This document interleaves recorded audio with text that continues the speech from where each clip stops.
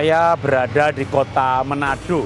Kalau Aceh itu kota seribu masjid, lalu Bali itu kota seribu pulau, maka boleh dikatakan Manado ini kota seribu gereja. Setiap jengkal 50 meter, 100 meter ada gereja. Karena memang di kota ini mayoritas penduduknya Nasrani.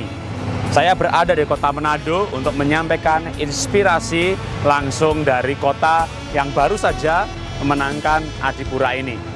Saya berada di Manado di depan patungnya Yesus Kristus atau dari orang Yahudi dan Muslim menyebutnya Nabi Isa. Nah, Nabi Isa punya pelajaran dan sebagai seorang nabi kita juga boleh mendengarnya. Apa pelajaran yang paling terkenal dari beliau atau Nabi Isa ini? Dia mengajarkan satu hukum yaitu kasihilah musuhmu. Kalau engkau ditempeleng pipi kanan, berikan pipi kiri.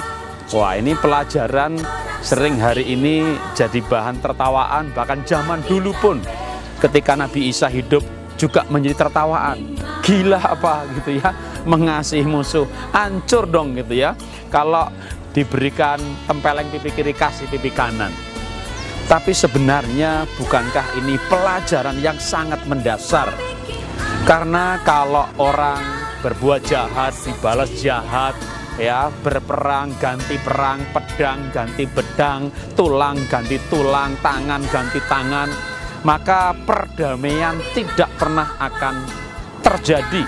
Yang ada adalah balas dendam, peperangan, balas dendam, peperangan, dan tidak ada habis-habisnya dan kedua-duanya, kedua pihak sama-sama hancur. Kalau dalam bisnis terjadi perang harga, dua-duanya sama-sama bangkrut. Karena itu sebenarnya ini pelajaran tidak untuk ditertawakan dan bukannya tidak aplikatif.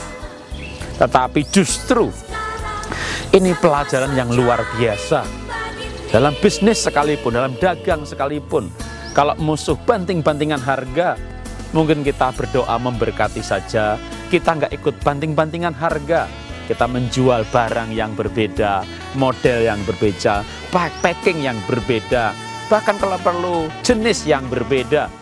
Sekarang ada istilah namanya wah blue ocean strategy gitu ya. Jadi jangan berperang di tempat yang sama merah dan berdarah-darah, tapi di tempat yang lain yang berbeda. Dan di tempat yang berbeda itu kita bisa berdoa, memberkati, bahkan musuh dan saingan kita.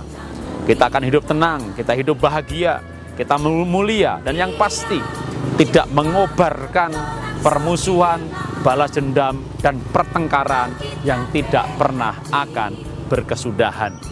Karena itu sebenarnya agama apa pun juga baik Anda orang Kristen yang percaya Nabi Isa sebagai Tuhan atau bukan orang Kristen dan percaya dia sebagai Nabi, atau bahkan hanya percaya dia sebagai seorang guru, maka pelajarannya pun dalam hal ini sebuah filosofi hidup. Bukan soal bagaimana masuk sorga yang tiap agama berbeda-beda, tapi ini soal pelajaran filosofi hidup untuk menghentikan permusuhan dengan cara bukan balas dendam, tapi melepaskan pengampunan, bahkan bisa melangkah lebih jauh mencintai, mengasihi musuh. Berdoa untuk orang jahat. Kalau musuhnya jahat, kita nggak jahat. Kita kasihan bukan sama orang jahat.